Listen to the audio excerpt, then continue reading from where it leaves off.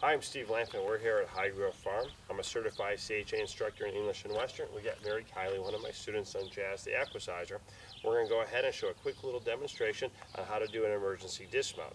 All right, this is a great way to go ahead using the Equicizer, which is a safe way of introducing uh, students to the emergency dismount. We don't have to worry about a horse running off. You don't have to worry about a rider getting nervous doing it. You don't have to worry about a rider hanging on and getting pulled underneath the horse if they're holding on to the neck or something too long.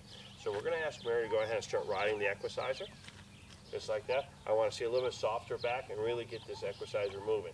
All right.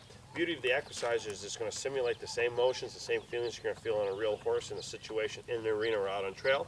Okay.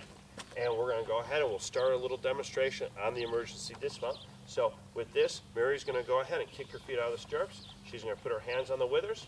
All right. And you're going to go ahead and push yourself off. All right. now I talked through it. We're going to have Mary get right back on that horse right now.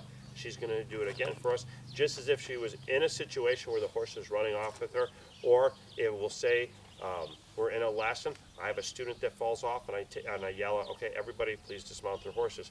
Great way to stop your horse or emergency dismount. Mary, get back on the horse for me, please. Okay, same thing. I could drill and drill and drill proper mounting techniques, proper handling, safety, how to deal with and around the horse. Great way to start our first lesson right away.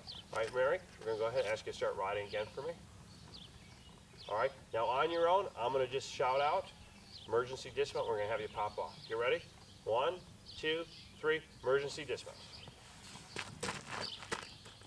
Perfect. All right, that's the emergency dismount. I'm Steve Lantvit. Thanks a lot.